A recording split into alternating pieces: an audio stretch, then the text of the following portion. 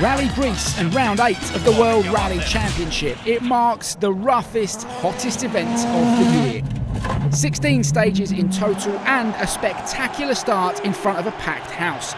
60,000 fans piled into the Olympic Stadium in Athens for stage one. Esapekka Lappi very lucky to get away with this overshoot, while Thierry Neuville set the early pace.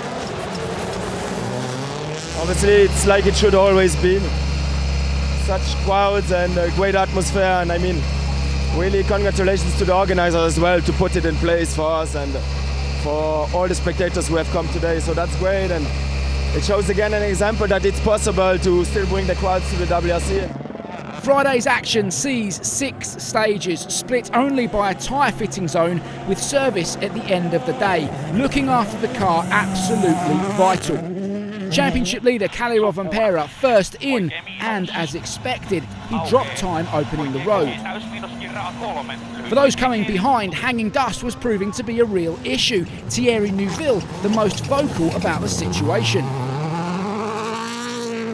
You have no visibility. Suddenly, fifth gear, full flat out, suddenly you see nothing and you don't know where you are. And you quite like you are dying. It's it's unbelievable. We, we asked for more minutes between the cars.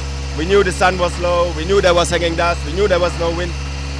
And everybody gives a shit. Nine times world champion Sebastian Loeb back in the M Sport Ford Puma this weekend and back with a bang. Quickest on the opening stage, eight tenths up on Pierre Louis Loubet, and he was our new rally leader.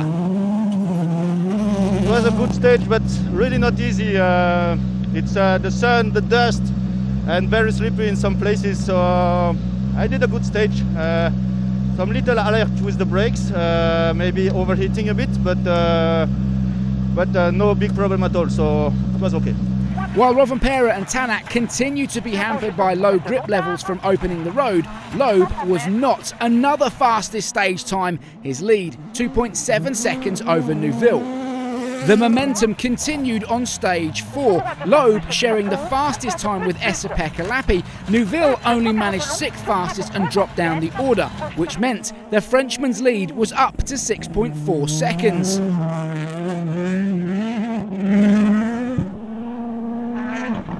But it was short lived. He outbraked himself into this hairpin on stage 5 and dropped nearly 10 seconds.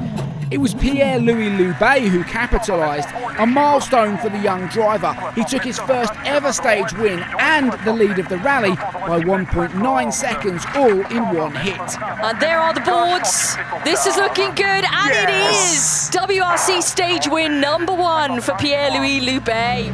Ah, that's good. It was close so many times this year, and uh, we deserve this one. So thank you.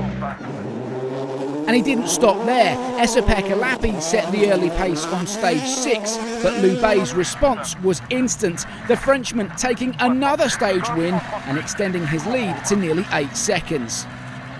Just a final stage to run, and elsewhere, Kalle Rovanperä ended the day down in ninth. He's hoping to get his charge underway tomorrow with a better road position. Ott Tanak lies sixth, just behind Dani Sordo and Thierry Neuville. But up at the front, it's been a spectacular day for M Sport.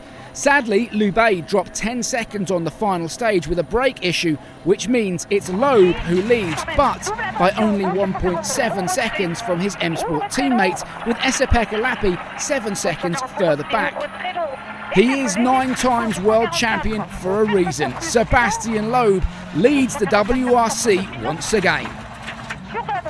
I decided to, to try really hard in this one because uh, I was losing too much time in the, in the previous one. I, I didn't feel so confident, so yeah, so I said, okay, I need to finish on a good rhythm having Loeb there to ask questions and, and Seb's very open with the, with the other drivers and very help helps them a lot and you know they're helping him so despite the difference in uh, in championships and uh, amount of rallies won you know it's a, it's a big uh, community where they're all sharing information between each other, and, and you know it's come together to show that's working, and we've had an incredibly strong day. Has a star been born today? Pierre Louis Loubet trails the very best the sport has ever seen by just 1.7 seconds. Another six rough, tough stages to run tomorrow. Can he or Esapekka Lappi do something about Loeb on day two of the Acropolis Rally?